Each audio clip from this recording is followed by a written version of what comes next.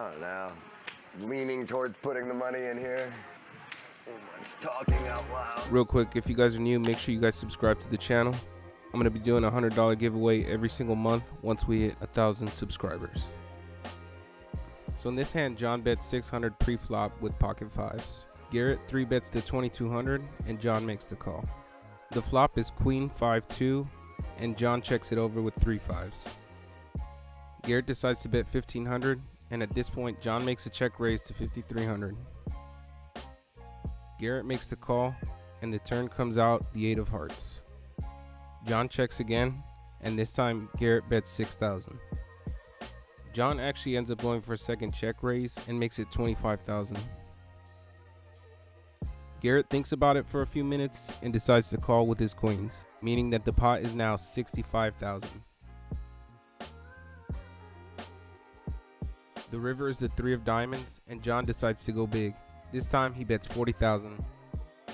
Garrett is obviously confused as hell and basically ends up using every time chip over the next 5 minutes. River. Pot's 105, 40 to call.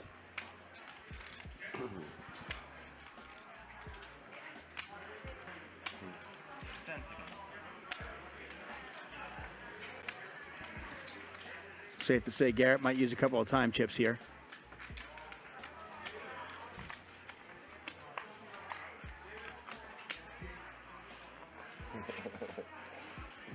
Another super interesting hand. no matter what.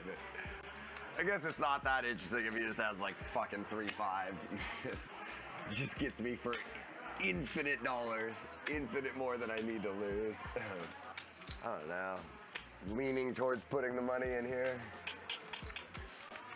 Very unhappily lose lots.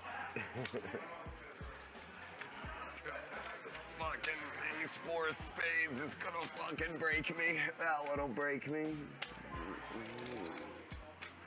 So much talking out loud. What do I think about this fucking hand?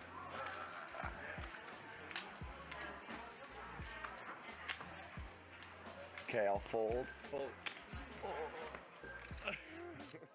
Garrett ends up making the fold, but honestly, with just one pair, I'm not really sure what took him so long to fold. Overall, John played the hand really well, but I think he did get a little greedy on the river. It kind of seems to me like Garrett probably would have called something like 20,000. But anyway, let me know what you guys think. If you guys enjoyed the video, hit the like button, hit the subscribe button, and I'll see you guys in the next one.